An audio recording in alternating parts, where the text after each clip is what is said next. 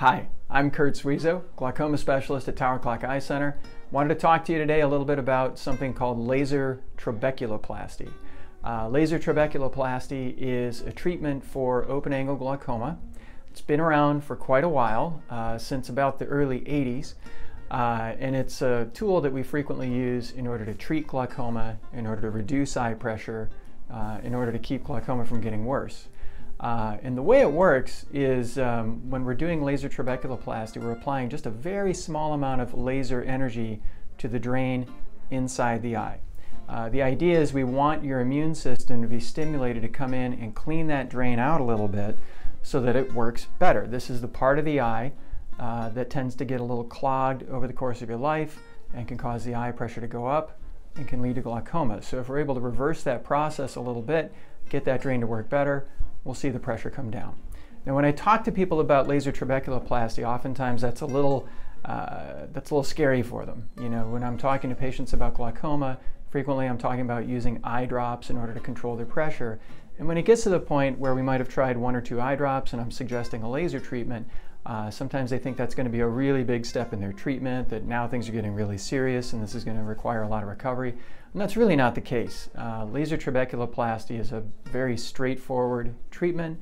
Uh, it's not really much worse than just getting an eye exam in the clinic. Uh, this is done uh, when you're having this trabeculoplasty, you're in a seated position, um, you're in the same type of uh, equipment that your doctor would use in order to examine your eyes.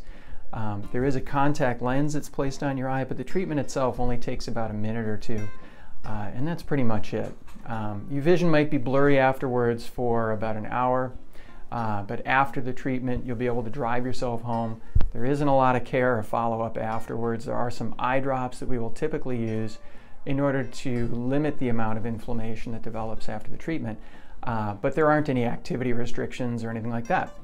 And it takes the treatment about six weeks uh, in order to achieve its maximum effect. So we usually have patients follow up about six weeks later to have their eye pressure rechecked. We might do one or two other visits in the meantime just to monitor that pressure, but we won't see the actual outcome of the laser treatment for about six weeks. Um, and the laser treatment, like any treatment for glaucoma, it doesn't work for, anybody, for everybody. Uh, when we do laser trabeculoplasty, we'll see a response to treatment about 75% of the time. So about 25% of patients really just don't get any effect. Um, when we do get an effect, the eye pressure comes down around 25%. Obviously, there's going to be some variability in the outcomes, but that's about what we're hoping to achieve. Uh, so there are some instances where we'll say, yeah, this is a really great treatment option. We're looking for a moderate reduction in your eye pressure. This is a good idea. And then there are other cases where you might say, you know what, this just isn't going to do what we're looking for. This isn't going to accomplish our goals. Let's move on to something else. Um, but it is a very useful tool. It can be repeated. Uh, we use a laser uh, called a, a, selective laser. So in other words, this is a small amount of a specific type of laser energy. Uh, our laser was developed about 18, 19 years ago.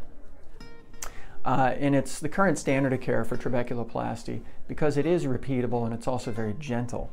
Uh, other lasers that have been used in the past are also very effective. Uh, there's an argon or a dye laser uh, that was used in the 80s to 90s. Um, similar efficacy, but it can't be repeated.